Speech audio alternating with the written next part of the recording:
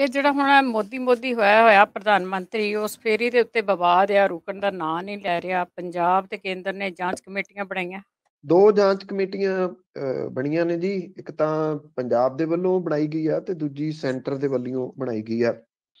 ਪੰਜਾਬ ਸਰਕਾਰ ਦੇ ਵੱਲੋਂ ਇੱਕ ਰਿਟਾਇਰਡ ਨੇ, ਮਹਿਤਾਬ ਗਿੱਲ ਤੇ ਚੀਫ ਸੈਕਟਰੀ ਅਨੁਰਾਗ ਵਰਮਾ।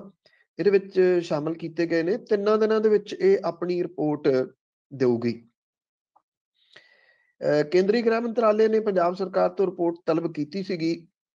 ਇਹ ਰਿਪੋਰਟ ਕੱਲ ਸ਼ਾਮ ਤੱਕ ਭੇਜਣ ਲਈ ਕਿਹਾ ਗਿਆ ਸੀਗਾ। ਪਰ ਐਕਚੁਅਲੀ ਇਹ ਰਿਪੋਰਟ ਜਿਹੜੀ ਆ, ਇਹ ਜਿਹੜੀ ਦੋ ਮੈਂਬਰੀ ਕਮੇਟੀ ਬਣੀ ਆ, ਇਹਦੇ 3 ਦਿਨ ਭਲਕੇ ਪੂਰੇ ਹੋਣਗੇ।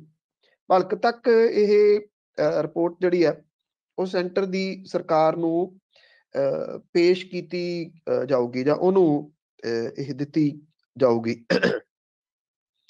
ਪੰਜਾਬ ਸਰਕਾਰ ਦਾ ਇਹ ਕਹਿਣਾ ਕਿ ਉਹ ਤਿੰਨਾਂ ਦਿਨਾਂ ਦੇ ਵਿੱਚ ਇਹ ਰਿਪੋਰਟ ਪੂਰੀ ਕਰਕੇ ਪਤਾ ਲਾਊਗਾ ਕਿ ਇਹਦੇ ਵਿੱਚ ਕਿੱਥੇ ਅਹ ਕੁਤਾਹੀ ਜਿਹੜੀ ਉਹ ਹੋਈ ਹੈ।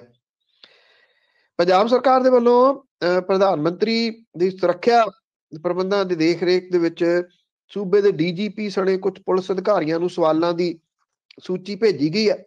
ਕਿ ਉਹ ਫੌਰੀ ਤੌਰ ਦੇ ਉੱਤੇ ਇਹਨਾਂ ਸਵਾਲਾਂ ਦੇ ਜਵਾਬ ਦੇਣ ਕਿਉਂਕਿ ਇਹ ਦੋ ਮੈਂਬਰੀ ਜਿਹੜੀ ਕਮੇਟੀ ਆ ਉਹ ਪਤਾ ਲਾਣਾ ਚਾਹੁੰਦੀ ਆ ਕਿ ਕੀ ਕੋਈ ਮਿਸਕਮਿਊਨੀਕੇਸ਼ਨ ਕਿਸੇ ਜਗ੍ਹਾ ਦੇ ਉੱਤੇ ਹੋਇਆ।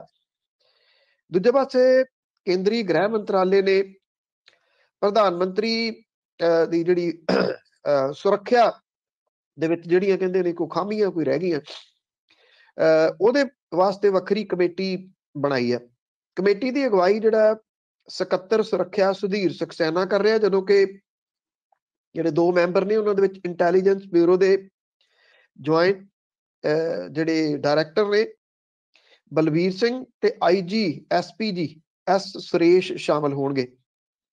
ਸਰਕਾਰ ਨੇ ਕਮੇਟੀ ਨੂੰ ਆਪਣੀ ਰਿਪੋਰਟ ਛੇਤੀ ਤੋਂ ਛੇਤੀ ਦੇਣ ਦੀ ਸਲਾਹ ਦਿੱਤੀ ਹੈ। ਕੇਂਦਰੀ ਕੈਬਨਿਟ ਦੀ ਮੀਟਿੰਗ ਵੀ ਇਸ ਮੁੱਦੇ ਦੇ ਉੱਤੇ ਹੋਈ। ਇੱਕ ਹਫ਼ਤੇ ਦੇ ਵਕਫੇ ਮਗਰੋਂ ਮੋਦੀ ਹੋਰਾਂ ਦੀ ਅਗਵਾਈ ਦੇ ਵਿੱਚ ਹੋਈ ਮੀਟਿੰਗ ਦੇ ਦੌਰਾਨ ਕਈ ਮੰਤਰੀਆਂ ਨੇ ਇਸ ਘਟਨਾਕ੍ਰਮ ਦੇ ਉੱਤੇ ਵੱਡਾ ਫਿਕਰ ਜ਼ਾਹਰ ਕੀਤਾ। ਇਹ ਵੀ ਕਿਹਾ ਜਾ ਰਿਹਾ ਹੈ ਕਿ ਕੇਂਦਰ ਦੀ ਸਰਕਾਰ ਐਸਪੀਜੀ ਐਕਟ ਦੀ ਵਰਤੋਂ ਕਰਦਿਆਂ ਪੰਜਾਬ ਨਾਲ ਸੰਬੰਧਿਤ ਪੁਲਿਸ ਅਧਿਕਾਰੀਆਂ ਨੂੰ ਦਿੱਲੀ ਤਲਬ ਕਰ ਸਕਦੀ ਹੈ। ਐਸਪੀਜੀ ਐਕਟ ਦੀ ਧਾਰਾ 14 ਦੇ ਤਹਿਤ ਪ੍ਰਧਾਨ ਮੰਤਰੀ ਦੀ ਆਮਦ ਮੌਕੇ ਸੂਬਾ ਸਰਕਾਰ ਐਸਪੀਜੀ ਨੂੰ ਹਰ ਸੰਭਵ ਸਹਾਇਤਾ ਦੇਣ ਲਈ ਪਾਬੰਦ ਹੈ।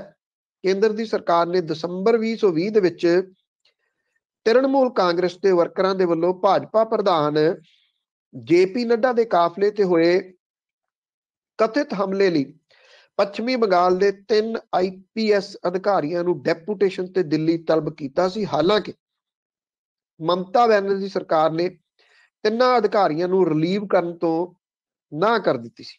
ਗ੍ਰਹਿ ਮੰਤਰਾਲੇ ਨੇ ਉਦੋਂ ਮੁੱਖ ਮੰਤਰੀ ਤੇ ਡੀਜੀਪੀ ਨੂੰ ਵੀ ਦਿੱਲੀ ਸੱਦਿਆ ਸੀ, ਪਰ ਇਹ ਦੋਵੇਂ ਗੈਰ ਹਾਜ਼ਰ ਰਹੇ ਸੀ।